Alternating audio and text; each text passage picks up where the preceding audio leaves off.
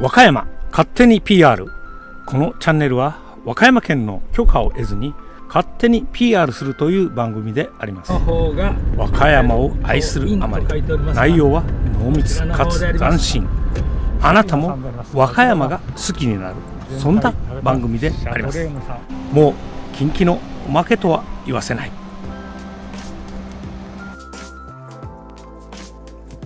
今回は和歌山県岩出市宮83番地にあるホテル伊東内にある和食どころセリナさんであります。前回ヤフーニュースで取り上げられたホテル伊東のホテルランチを堪能した熊の親父ですが北田支配人に1階にもお得な和食ランチがありますよというおすすめで本日は熊のおばさんと一緒にやってきました。和歌山県では結婚式場として有名なホテル伊東その1階にある地元では有名な老舗ホテルの和食レストラン。日本料理や懐石料理が食べられる料理店であります。懐石料理は予約が必要でそこそこお値段が張りますがお昼は和食どころセリナさんのランチがコスパ最高だと支配人にも勧められました。本日のランチは天ぷらセットと串カツセットが1200円。刺身セットが1600円で提供されていました。熊のおばさんは天ぷら。私は串カツを注文いたしました。出てきた料理にびっくり。メインの料理の他に小鉢が6品もついて見た目も超豪華。これで1200円は破格値であります。前回の展望レストランでも1100円で本格ホテルランチが楽しめましたがこちらは和食が1200円でいろいろと楽しめるお料理でした。それではホテル伊東の和食ランチ。ごゆっくりお楽しみください。それでは岩出橋を渡って正面に見えてくるのがホテル伊藤さんだと思われます。左側にあるのが大宮神社であります。大宮神社。こちらの方から本日は正面から入ってみたいと思います。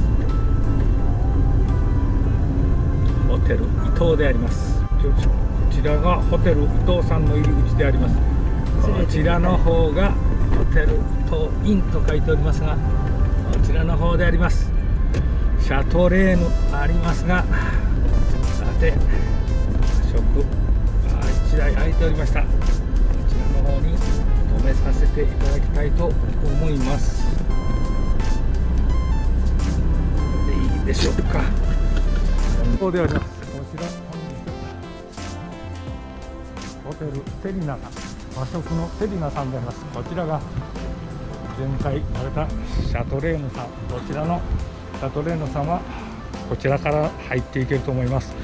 それではこちらの方セリーナさんどういったメニューでありましょうか。ランチタイムということで本日はこちらの方で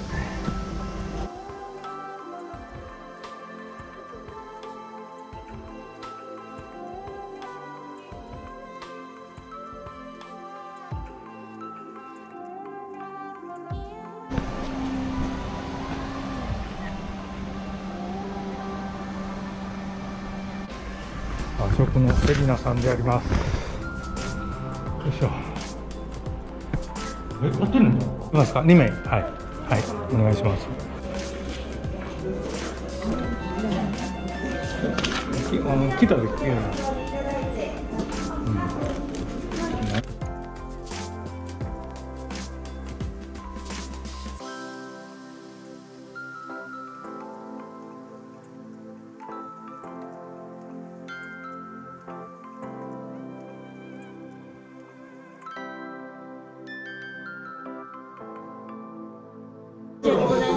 うんたらこれとこれ天ぷらと串揚げ、はい。串揚げがあの海鮮のタイプとお肉のタイプとあるんですけれども、お肉のはい、わかりました。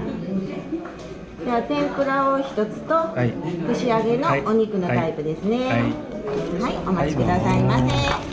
ではすいません、はい。右の方下げします。お待ちくださいませ。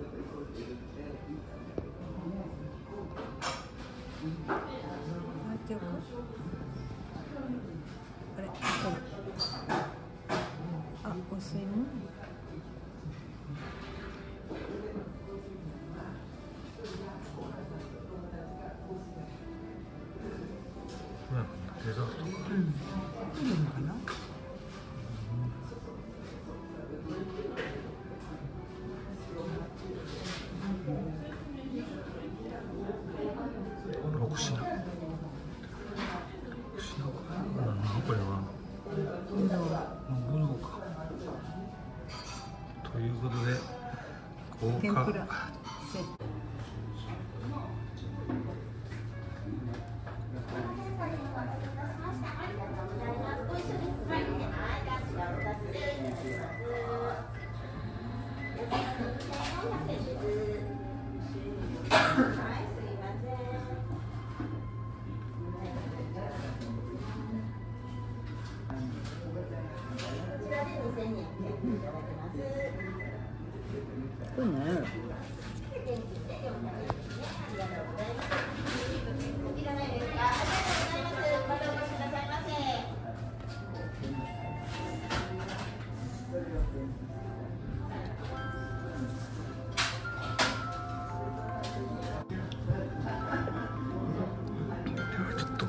串カツから串カツであります。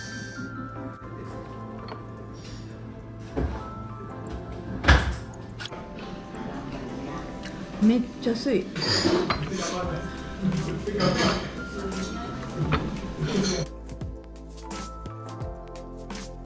あ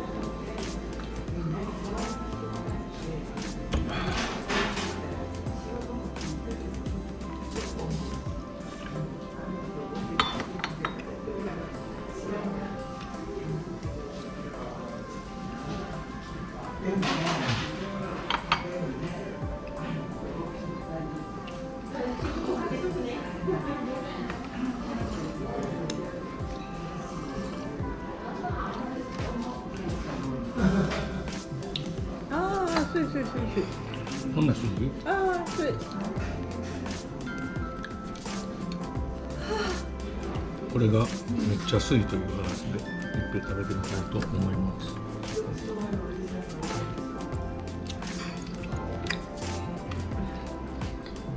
めっちゃ水やろ？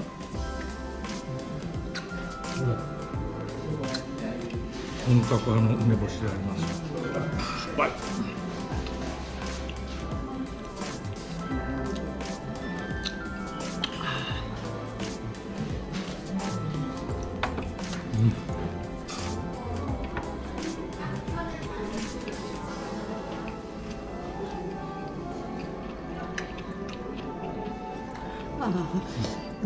寒気するほどさ、うん、寒気するほど寒いと水、ああ水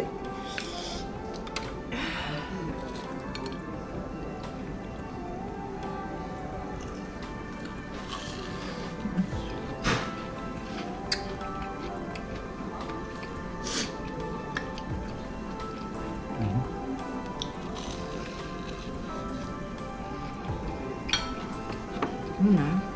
これはじゃがいもや。うん。でも。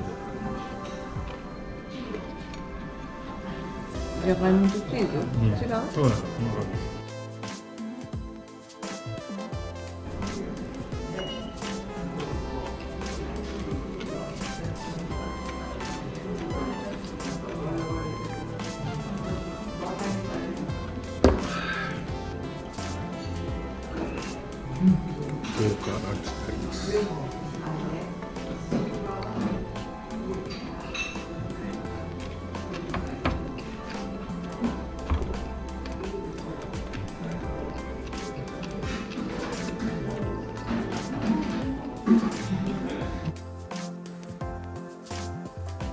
食どころセリナさんのランチタイムランチセット1200円を食べたという動画となります。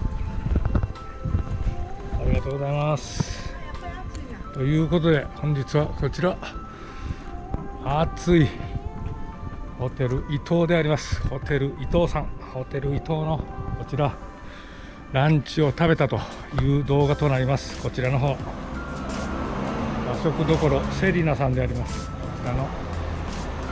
和食どころセリナさんの1200円ランチ食べたという動画となります。それではごきげんよう。さようなら。いかがでしたでしょうか。このチャンネルは和歌山県の許可を得ずに勝手に PR するという番組であります。和歌山を愛するあまり内容は濃密かつ斬新。あなたも和歌山が好きになる。そんな番組です。もう近畿のおまけとは言わせない。次回もまたこのチャンネルでお会いいたしましょう。さようなら。